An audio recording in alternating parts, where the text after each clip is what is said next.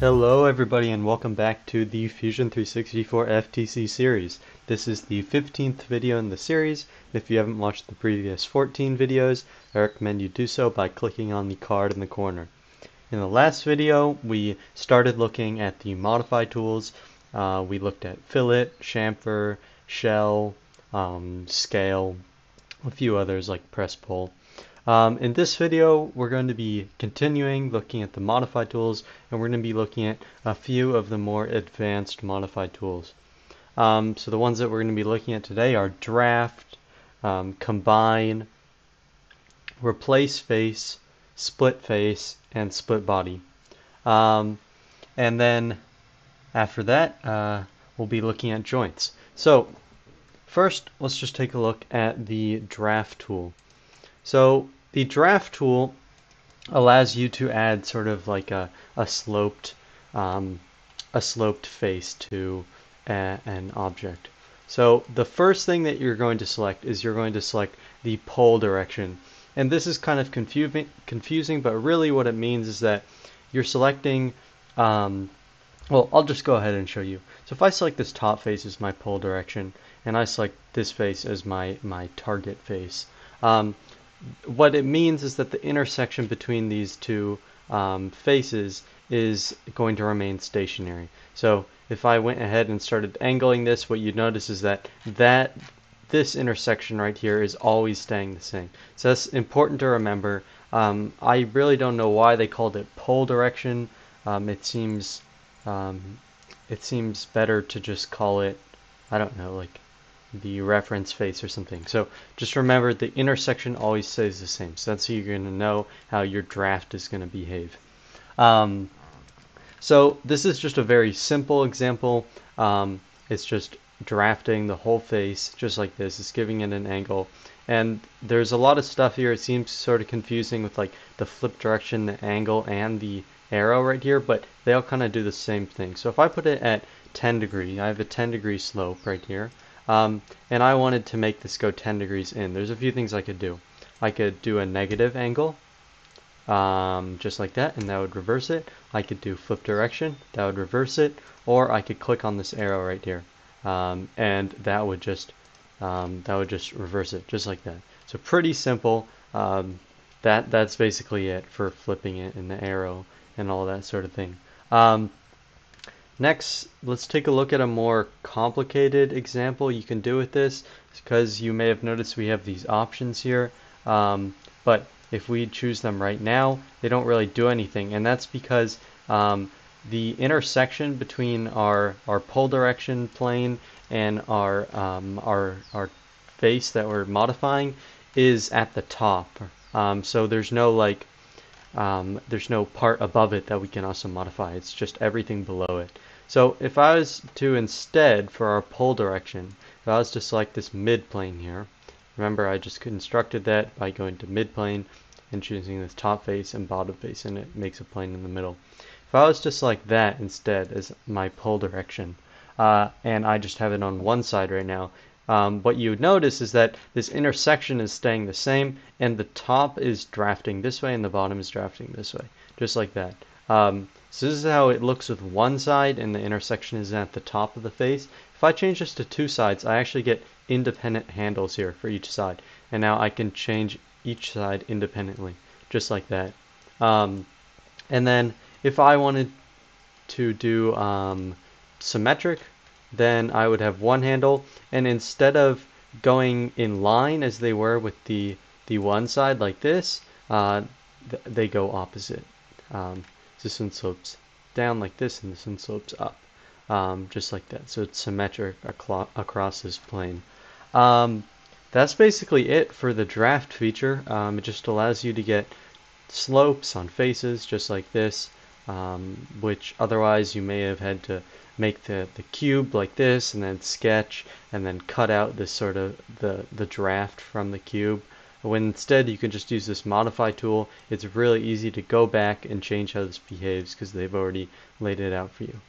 Uh, so if I wanted 10 degree symmetrical, it would just be like that, and boom, we got it. Um, and of course, this this plane that I used here, it does not have to be centered. I could have made an offset plane, um, above or below, and then the, the top part would be larger or smaller than the bottom part. Um, next, let's look at combine. Um, and combine is right here at the top. Um, draft is not in the, the menu right here, but it's right here. Combine, it's also in the drop down right here. Um, and when we looked at extrude and some of the other tools like revolve and uh, sweep, um, we had these options here which were join, cut, and intersect. Um, but that was only when we were creating from a, a sketch. We had these options. So this time, basically, you just get those options once you already have bodies in. Um, and it allows you to do more complex intersections because you're working in three dimensions instead of two dimensions. Um, so uh, the the target bot. So if if I was to do join and I just selected these, they would um, and I clicked OK. Right now I have body one and body two selected. Um, it would actually become the same body, just like that. Um, so that's all join does. They just it just joins the geometry together. If I was to do um, if I was to do uh, pay attention to which one I'm selecting first. So I'm selecting the one on the right first or the sorry the one on the right first and the one on the left second so the right one is the the the right one is the target body and the left one is the tool body and I was to do cut what you would notice is that it would um, it would cut away this material and if we clicked OK just like that it you would notice that only this part is remaining over here um, and we can see the intersection so it's cut away all of this this sort of stuff right here. Um, we can look at that again. If I selected the left one first um, and we did cut, it would cut away all of this. Um, and then we would be left with one body here. Um, so it's not it's not just deleting this this body because it's also changing the material here. Um, so it's sort of like removing removing the intersection and removing the, the tool body. Um, and then let's look at intersection. Um, if I just selected it like this and changed it to intersect, it would only leave the portion that's being intersected. So if I clicked OK, that would be one body, and now we have the intersecting portion. So this is just sort of like a, um, a, a more advanced way to do the, the cut and intersect and join tools just in a, a more complex space not just straight out of a 2D sketch. Um, so uh, for this instance, I just wanted to join these together. That's what um, I do a lot is use this tool to join, um, but I also use it to cut and intersect a lot as well. Uh, just like that, and now we have one component. Um, next, let's take a look at replace face, and this one's pretty interesting right here. So this body right here, you may notice uh, body 5, it's not a normal body, uh, it's actually a surface body and we looked at that just a little bit when we were doing the thicken tool but uh, all I did here is I created a sketch and I made a sort of spline here and then I just extruded that spline out. Uh, this is not a solid body, it's a surface. So remember that. Uh, it's just a mesh. Uh, so we're going to use it because this is sort of a common application like how do I turn this top face on the cylinder into a more complex face? like this sort of wavy face we got here. And the tool for that is replace face. So um, the the source face um, is is what you're going to use. What's going to be changed? So the source face in our instance is the top of the cylinder here, and our target face is the face that is going to replace the source face. So if I went like this, you would notice it would extend it up, and it would in fact give it this sort of if we hid this, we could see it's now replaced it with the curve, uh, just like the spline. It's given that, that spline shape to it. Um, and it's just extended up to the, the area that we selected. So if I was to go back and I, I wanted it actually to replace the, the face from over here, what I could do is I could move um, my, my cylinder like this. Let me just align it roughly. So I want it to be uh, maybe like 95, just like that. And now if we were do, to do replace face again, and we selected our faces, just like this, uh, you would notice that it's now extended up to there and it's replacing it with that section of the, the spline, just like that. So that's um, a really easy way to get a, a complex shape like that. And something to keep in mind is that um, yes, the the face that the target face that you're replacing with, it does have to be above this face. Um, I, I couldn't just like replace it with something to the side. But yeah, that, that's it seems like it's hard to get this sort of spline shape um, on this this this surface easily. Um, you could do a sketch. It's kind of annoying though, um, but this is an easy way to do that. Um, yeah, just like that. And then um, we have two more tools that we're going to be looking at. It's the split face and split body tools. Um, so the split face tool, um, it basically just, you select a face to split. So I'm going to select this face. This is going to be my face that's going to be split. And then you select the splitting tool. So uh, this is my splitting tool. And um, just like that. And one, one, uh, one option that, um, hey, I think it, it went away. Let's, um, one option that is useful is extend splitting tool. If you have this checked, um, it'll basically extend whatever you're using into a, a plane. Um, it, it, won't just keep the, the surface area that you already have. Um, so, but we have a plane, so we're good. Um, and we're going to select this plane as our splitting tool. And if we clicked OK, um, you would notice that this is still one body. Um, it's it's our body 3, and I could move it just like this. It's still one body. But now what we've done is we've we've split this face in two. The other face over here is still in one. Um, this one is in two.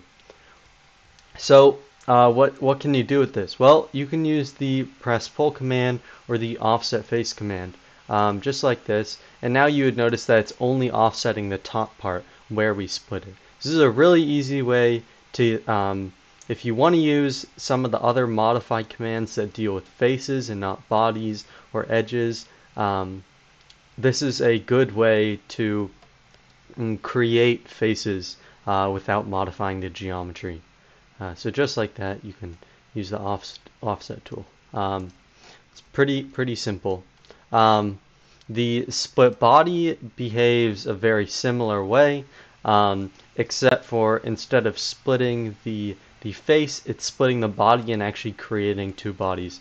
So for my splitting tool, I'm going to go ahead and select the same plane, and what you'll notice is that since it's a plane, we can select it here. Even though it's only showing us this rectangle here, it's actually infinitely large. Um, and if we clicked OK, uh, we would actually have body 2 and body 7 here. So I could move these independent of each other um, and then there we go we have two bodies uh, there's lots of things that you can do with this as well you can um, like modify the bodies individually and then rejoin them um, there, there's lots of things that can be done um, so that was it for today's video hopefully you have a good grasp on um, how these tools work. I recommend that you play around with these tools. They can be quite fun, but also quite complicated, and figure out ways that you can use it where that I didn't example in this video. Um, I think that the replace face tool is really cool, and you can get some some super complex geometry um, just with very very simple stuff. And um, I'll quickly model uh, how I created this in case you still don't understand uh, just so you can try it out for yourself. So I'm just going to choose um, this as my plane, pretty arbitrary. And the way I did this is I just selected the fit point spline tool and I just made myself a spline just like that. And then I went to finish sketch and I went to surface and I chose extrude and surface. And you'll notice that there's a lot of the same stuff. Um, and you actually can extrude this as a profile uh, just like that. And now you have it um, and it will create a, a a surface over here. If I was to go in here and try to extrude this, it wouldn't let me. Uh, I, I can't select this because this would not this is not an enclosed geometry so it won't create a solid body. But um, we can create a a surface just like that. Um, and there's some other things to look at. We're not going to be covering um, surface modeling or mesh modeling in this tutorial series because um, what you're going to be doing in FTC is hard surface modeling uh, for 3D printing or CNC or laser cut, whatever. Um, and the surface modeling isn't that useful. Um, but I encourage you to play around with it. Um, hopefully you learned something in this video and in the next video we'll be taking a look at joints and how to combine different um, components and uh, how to get multiple components into one thing without them all being bodies. Um, Alright, I'll see you in the next video.